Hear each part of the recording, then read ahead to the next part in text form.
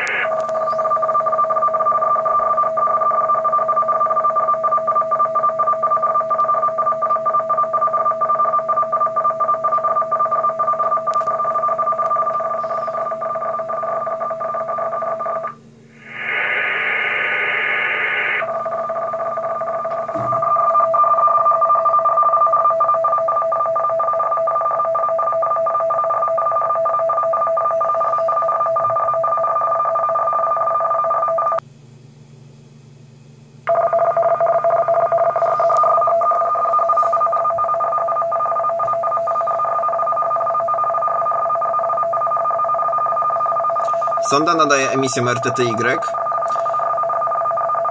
W każdej, w każdej ramce y, jest zawarta informacja na temat położenia sondy, temperatury i wielu danych telemetrycznych.